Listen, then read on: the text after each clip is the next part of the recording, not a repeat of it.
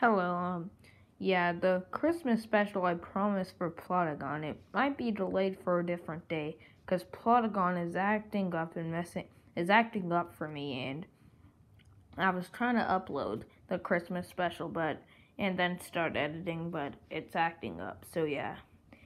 And, so yeah, it might be tomorrow or the day after tomorrow or something, so yeah, it might be delayed to an unknown date.